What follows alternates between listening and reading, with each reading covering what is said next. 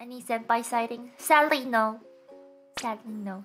It's been a lot more self training plus working on things that don't need to be done in the studio for the last couple of days. So maybe there has been more people in the studio, but I haven't gone. I don't think I can just go and camp camp out to you know meet people. Why not? It's cause the people at the studio they're busy doing their work. I don't want to just want to sit there and be like, hey guys, just gonna chill here.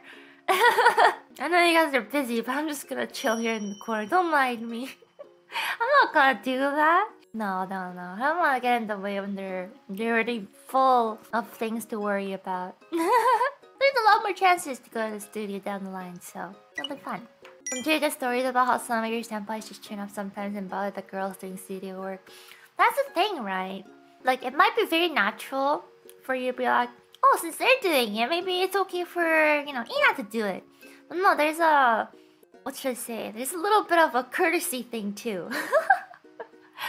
because for them they've been in the studio for you know multiple multiple times and they're used to the staff there and you know working there. But for me like i literally just you know met them and i haven't seen any of the senpais like offline before.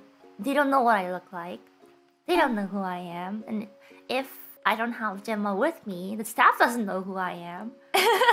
So like maybe like in minecraft i can just barge in and be like hey let's play. But like in real life, when they're actually trying to get stuff done, like if I'm not that close to them, then it's kind of rude to just barge in and be like, hey, pay attention to me, kind of thing. Yeah, they don't know Amina.